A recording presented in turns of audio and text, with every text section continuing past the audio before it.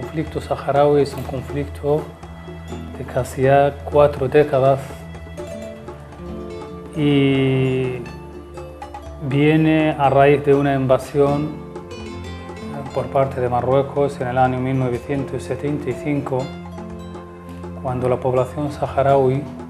huyó al territorio argelino, dejando atrás todos sus bienes,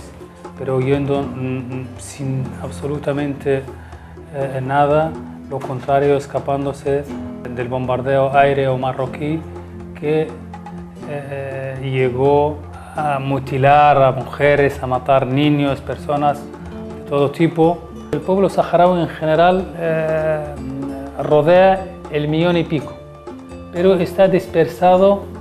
eh, en todo el mundo. Alrededor de 200.000 refugiados asentados en territorio argelino, en el sur de Argelia, viven de ayudas humanitarias, no tienen recursos y dependiendo del de, eh, apoyo de la comunidad internacional para sobrevivir.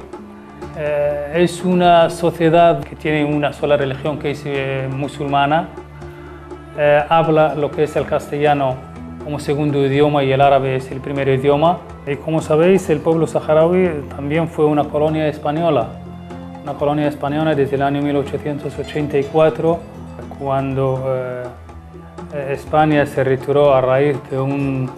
movimiento de liberación saharaui que se llama el Frente Polisario, eh, este movimiento que encadenó una lucha para la liberación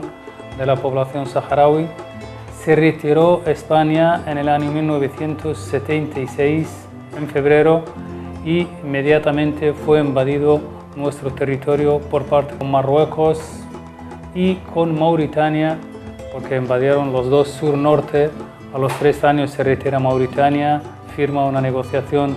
con el Frente Polisario, eh, reconocimiento eh, de la población del pueblo saharaui. Eh, Marruecos siguió esa lucha hasta 1991, cuando las Naciones Unidas se presenta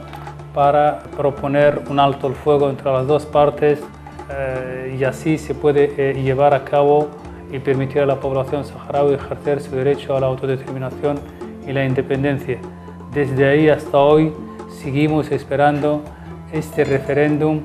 que eh, día tras día y desde aquella fecha Marruecos obstaculizando, maniobrando para que no se lleve a cabo el 91. Es un alto el fuego, pero no es una solución definitiva al conflicto, sino es un alto el fuego donde la población saharaui eh, continuó su lucha pacífica en el año 2005, una lucha pacífica eh, en los territorios ocupados, esta lucha que eh, lamentablemente se ha reprimido cuando la población saharaui intenta manifestar o intenta expresar su deseo a la aplicación de las resoluciones de las Naciones Unidas. Con respecto a, todo lo que fueron las rebeliones en los países árabes recientes, por un lado, ¿cómo fue ese proceso dentro de la juventud saharaui que tuvo se manifestó y cómo afectó también todo el proceso a, Marruecos y a la, estabilidad de Marruecos. La rebelión de la primavera empezó en el Sáhara Occidental, en los territorios ocupados, porque el asentamiento del campamento de Gdemizik, fuera de la ciudad capital de Layún, de más de 8.000 jaimas que se eh, asentaron fuera de la ciudad para manifestar pacíficamente su rechazo su rechazo a la colonización, a la colonia y al colonialismo marroquí, su rechazo al eh, empobrecimiento que Marruecos está ejerciendo sobre nuestra población, su rechazo a la desigualdad entre el marroquí y el saharaui, este, este, este asentamiento, este campamento que se asentó fuera de, la capital de Layún, ha sido reprimido brutalmente aire, con aviones aéreos y con ejército y policía marroquí. Desde ahí empezó la primavera árabe, en Túnez, en Libia, en Egipto, en Siria, etc. Nosotros eh, nos, parece, muy bien porque realmente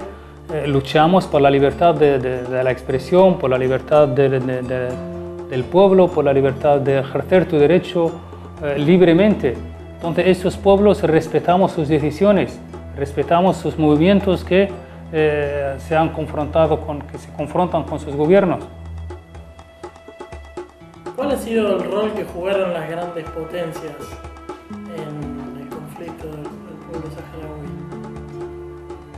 Las, gran, las grandes potencias podemos decir que todo se basa en intereses, porque eh, desde el alto el fuego, dossier o el expediente de lo que es la resolución del problema está en manos del Consejo de Seguridad. Y desde ahí pues siempre se ha intentado a que haya una presión sobre Marruecos para que ejerce y respete los derechos humanos, pero no solamente eso, sino para que se lleve a cabo en un referéndum de autodeterminación libre, transparente y supervisado por las Naciones Unidas, al que él ha firmado y ha optado para que haya una solución al conflicto partiendo de lo que la población saharaui elige. Las potencias son miembros del Consejo de Seguridad, no se ha hecho nada así que podemos observar que conduce a una solución inmediata al conflicto y que eh, presione a Marruecos a, esa, a, que, a que se lleve a cabo esas relaciones de las Naciones Unidas. ¿Qué expectativas hay de que se produzca un cambio en cuanto a la situación de los derechos humanos en Sahara? Después de muchos años esperando a que a que se suma a, a la comisión del, de las Naciones Unidas que eh, eh, está hoy en día, o sea, que se responsabiliza de llevar a cabo un referéndum de autodeterminación y que está asentada en los territorios del Sáhara Occidental desde el año 1991 para que se lleve este referéndum. A esta comisión es la única que no tiene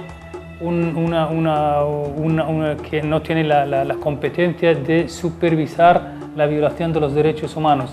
Desde hace muchos años eh, estamos intentando, estamos con, denunciando las violaciones de derechos humanos para que se asuma a, este, a, este, a esta comisión uh, un grupo para supervisar los derechos humanos. Están violados sistemáticamente por parte de Marruecos. Esperemos que no sea vetada por Francia.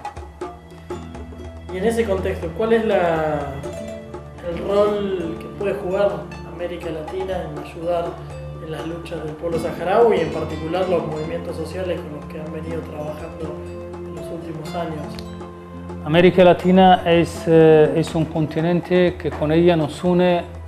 cultura, compartimos esa cultura. Eh, nosotros esperamos de América Latina que se suma a, a, al apoyo a una, a una, solución pacífica al conflicto, a una solución que permita a la población saharaui ejercer su derecho a la autodeterminación. Los sindicatos eh, eh, siempre eh, han estado presentes y encabezan esas luchas.